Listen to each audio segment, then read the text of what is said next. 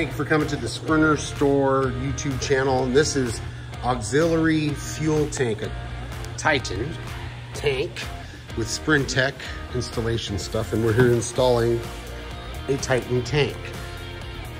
Jared here is gonna explain how you do this. We're doing a what, fill? fill neck. The uh, fill neck? Drilling the hole in the side of the quarter panel. It's always usually going to be in this quarter panel because of where the fill hose is. It's going to run along the back here and have to come up. So usually in this first panel, as you see, we have any trim that you may have removed. Um, Okay, so we have two panels. It usually goes in this first. well, it depends what kind of van. Cargo will be metal. Um, you might have a trim piece. You might have just a piece of um, styrofoam board or plastic board that runs along here. Either way, you need to get to the metal in, in the door. Okay, go through the door for the thing. So the, the hose runs along the bottom here, up through the bottom and across in there. That's how we did that one. You can each each one's custom. You can do it the way you want generally, but their majority are always the same, like this. So we have a four and a half inch hole saw. Four and a half inch hole saw. You do have a trace right here. It's not important um, where you drilled the hole yet. What's important is the little holes around it after you drill the big hole.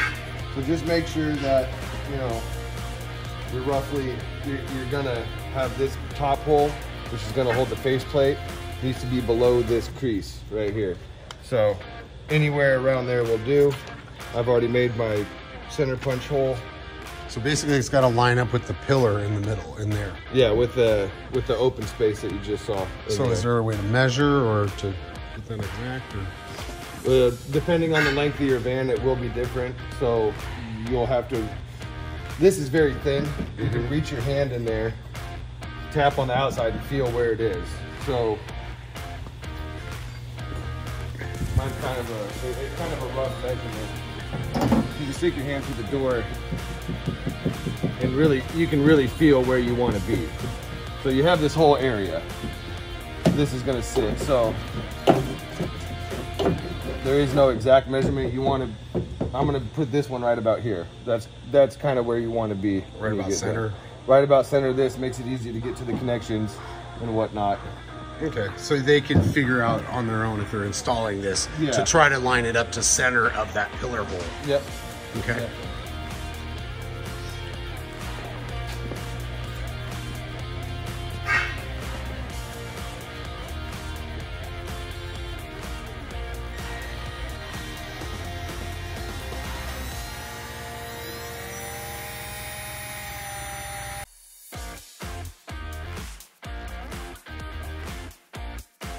All right, so here we have the trace of where we're gonna put around here to do the mounting bolts. And what that's gonna do is line up this faceplate. Oh, it's very secure, very secure, very protected Very- faceplate. very protective faceplate because that thing's made of solid platinum worth $2.6 million right now. And it comes with a nine, uh, uh, Kate, what is it, N95 mask to, to prevent coronavirus? I don't know. It's, uh, what is it, alumina? This is your gas door, and it's gonna line up Ooh, it's aluminum with these stuff? holes over the back. Okay, of the fill. Filler neck. Filler neck, filler gas door. And so we line this thing up. Now you can do whatever. Direction No, flap no, open. it's gonna tell you. This has to go on the bottom because those two got holes that one doesn't have. Okay, so you have tapered holes. All of them but one are tapered. that's the bottom. Is that bottom one tapered? No, it's got it's it's got a screw in it. Okay, it's And got a you- screw in it. As That's you the see, bottom. There's no hole to drill for that one on the bottom. Okay. So there's one screw already in it right there. Yep. And then you got all tapered holes. That one that's already screwed in there is not really a screw, but it's a marker for dead center bottom. Yep. So I got a light behind there shining out of the hole so I can see what you want to do is line the trace of the big hole up with the light shining through the hole you drilled. Whoop, that like that. Okay, so that's your template. Yep. Tape it on there so you can get the holes in the right area you want to be. perpendicular to level ground, I guess. But the bottom doesn't have a hole and it's that nut. That'll be the bottom of the plate. That hole right there. See, they got holes there, tapered holes, and then that one's not really, that's already set in there. So that is the bottom, dead center.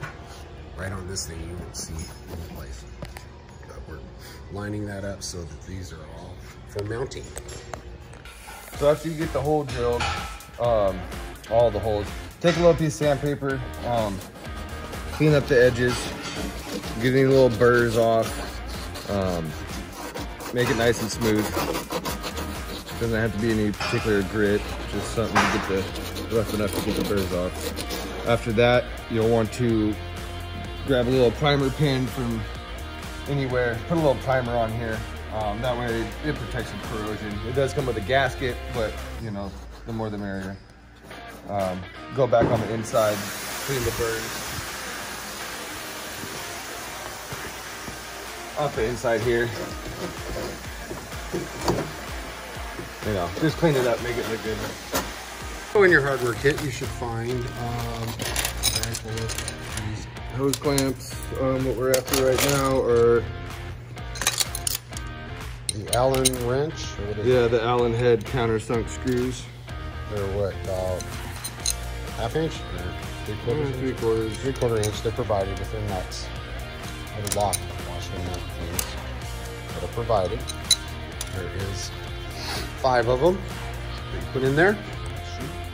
I got all the bolt holes started. It's a little bit snug fit. Um, you see me ratcheting. I don't have a nut on the other side. This kind of just sucks it down into the holes like you're supposed to. Don't forget this rubber gasket.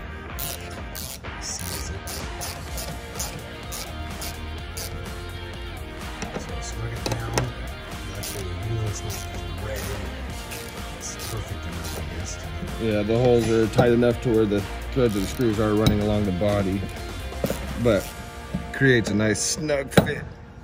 So snug it down.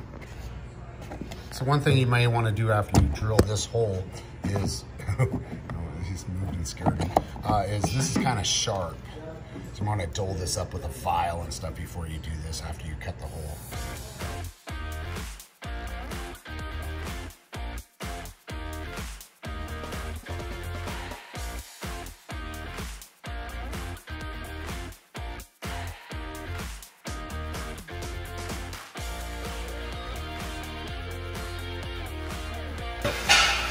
So this is where we're gonna cut out for the fill hose to go down.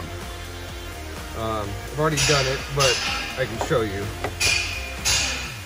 This sat here like this, and I cut it out two pieces. And then I used